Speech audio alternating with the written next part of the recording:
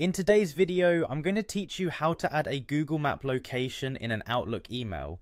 This simple method can be incredibly helpful if you need to share a specific location with a colleague, a friend, or even a group. And the best part, it takes less than 5 minutes. So let's jump right in and get started. First, let's open Microsoft Outlook. If you're using a web browser, simply head over to the Outlook website. You can easily find it by searching for Microsoft Outlook on your preferred search engine. If you have the desktop application installed, you can open that up as well. Both the web and desktop versions will work for this tutorial. Once you have Outlook open, look to the top right corner of the page. You'll notice a small sign in button. Go ahead and click on that. If you're using the desktop application and it's your first time, you might see a prompt to sign in right away.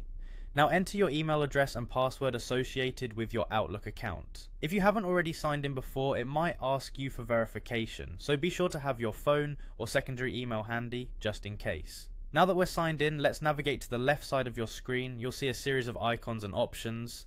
Look for the one labelled New Mail, click on it, and a brand new email window will pop up.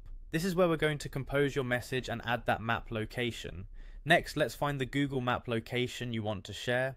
Open Google Maps in your browser or on your device, pinpoint the location that you need to send, and look for the share option. After clicking on it, you'll see an option to copy link. Click on that and the link to the location will be seamlessly copied to your clipboard. With the link copied, let's return to your open Outlook email draft. In the body of the email, right where you want the map link to appear, simply paste the link. You can do this by right clicking and selecting paste or by using the keyboard shortcut, which is usually Control plus V for Windows or Command plus V for Mac users. And there you have it, the link to your Google Map location is now embedded within your email, ready to be sent to anyone on your contact list. Before you hit send, it's always a good idea to give everything a quick double check. Make sure the location is correct and that the email is addressed to the right recipients. Once you're happy with it, press send and your map location is on its way.